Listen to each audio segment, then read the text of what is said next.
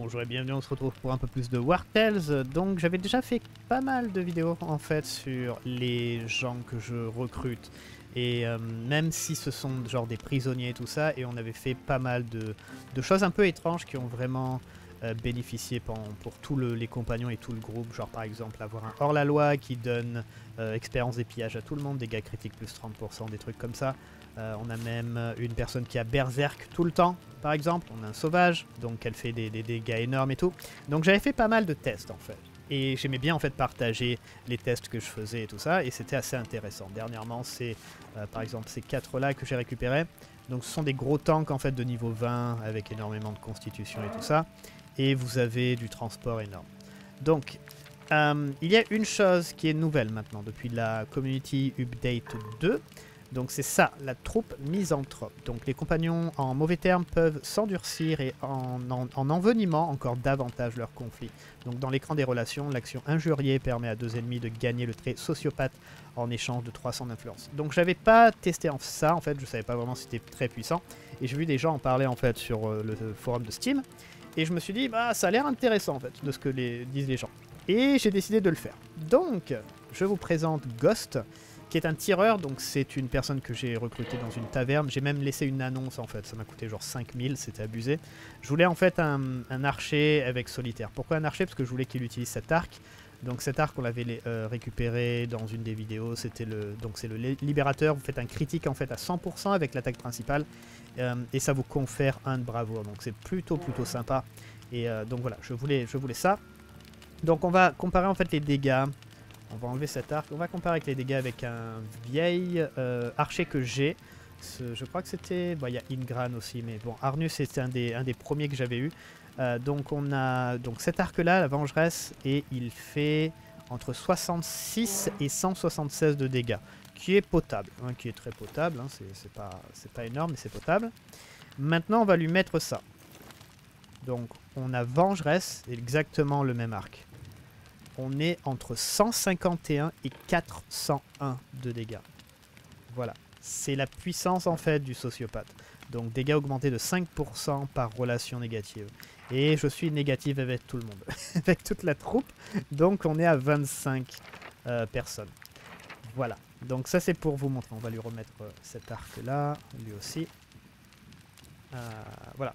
Et pour son arc avec celui-là, là, il est à 255 423. Et bien sûr, il fait euh, 100% critique, hein, bien sûr, hein, sur le, premier tir, donc vraiment bien. Et après, j'ai voulu faire un tir de visée, un tireur en fait. Donc j'ai utilisé ça, donc ça, ça augmente de 5% en fait les dégâts et le taux de critique à chaque mètre euh, que vous avez entre vous et la, et la, et la cible. Donc on a un critique de base qui est à 51%, donc c'est pas mal. Donc en théorie, on pourrait avoir du 100% pour les deux attaques assez, assez facilement. Surtout qu'il a visé. Et pour les habilités que je lui ai données, donc vous avez euh, ça, donc flèche renforcée, donc dégâts critiques augmentés de 35%. Donc ça, il faut l'augmenter de niveau, hein, bien sûr, hein, la flèche renforcée. Donc on a euh, des dégâts critiques en plus, parce qu'évidemment, on va faire beaucoup de critiques avec la première habilité.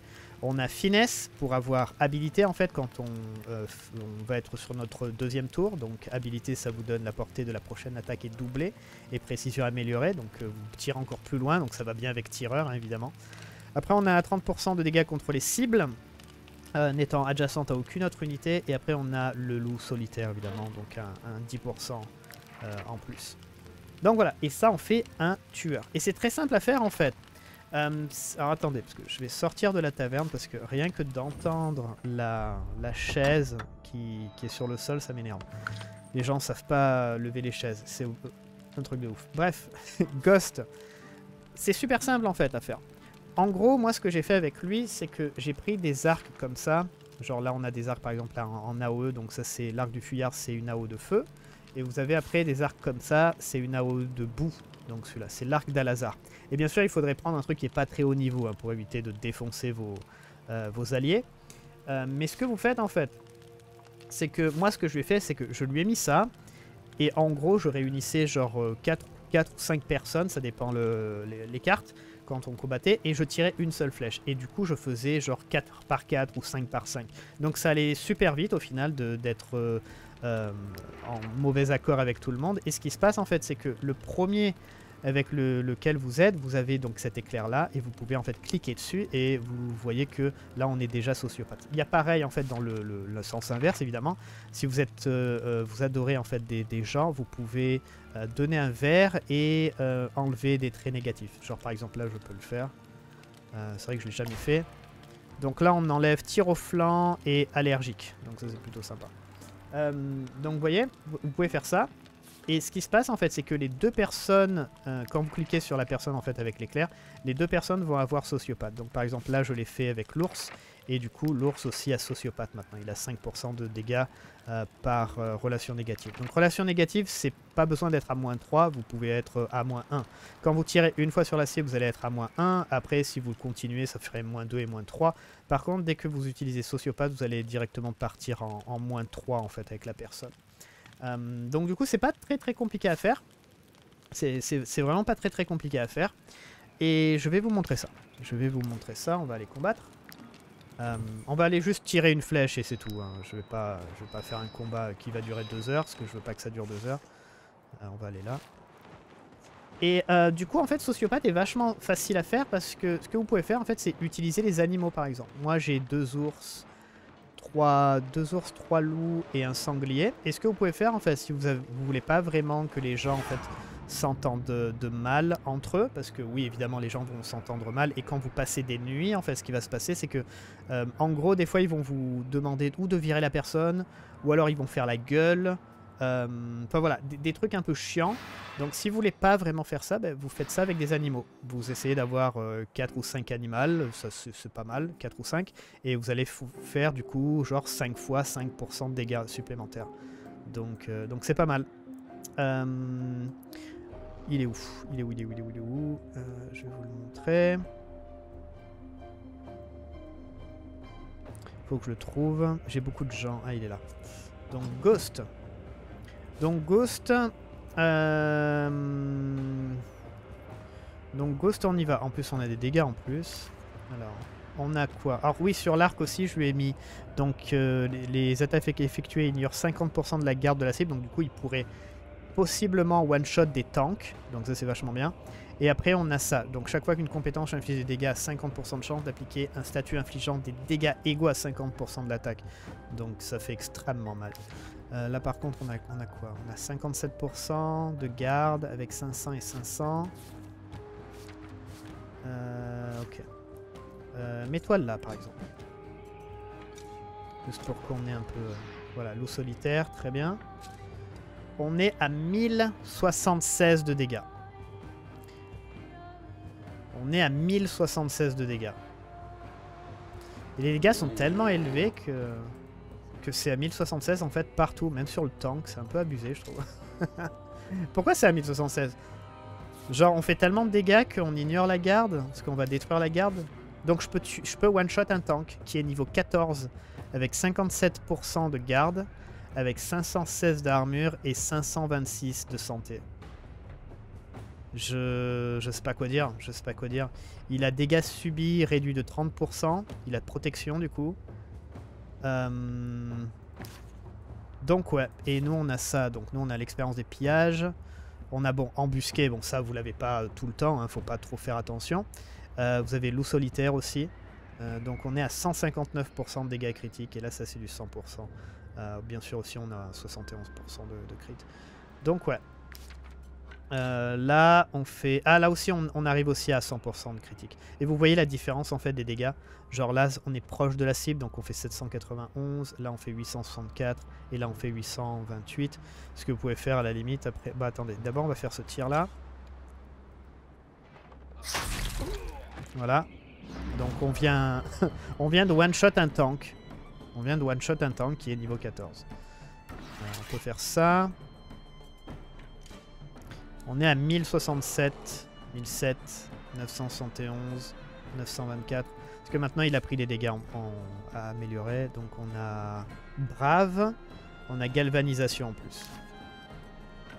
Donc là, 1067. Voilà. Extrêmement, extrêmement puissant. Donc ouais, je conseille de tester. Je conseille absolument de, tester en fait ce, genre de, de personnage parce que je suis quasiment certain, même dites-le moi, hein, mais je suis quasiment certain que personne en fait avait des mauvais, avait des problèmes de conflit en fait au sein du groupe parce que ça servait à rien. Ça servait strictement à rien en fait d'avoir des conflits au sein du groupe. C'était dangereux et pas, et il n'y avait aucun bonus en fait. Mais maintenant vous avez ça, vous avez le sociopathe et c'est extrêmement, extrêmement puissant. Donc si vous voulez avoir une personne qui est un peu sur le, qui-vive par rapport aux autres et tout ça, ça peut être intéressant. Euh, mais choisissez-les bien.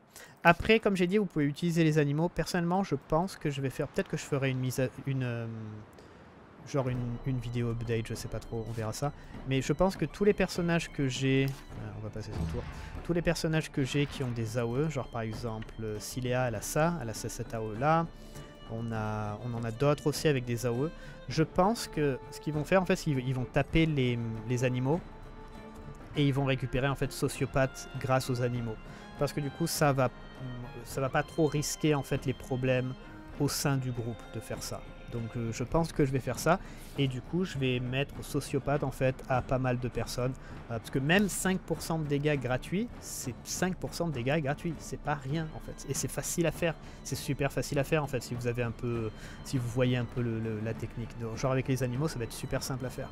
Donc, euh, donc voilà. Après j'en ai j'en ai 3 4 5 6 en tout je vais pas pouvoir avoir sociopathe sur tout le monde parce que je suis limité à 6 si je veux faire que les animaux. Après, je peux faire en sorte qu'ils s'aiment pas du tout entre eux, mais bon, je me suis déjà fait chier à augmenter, euh, euh, leur relation, donc ça serait un peu con de, tout gâcher en fait juste pour ça.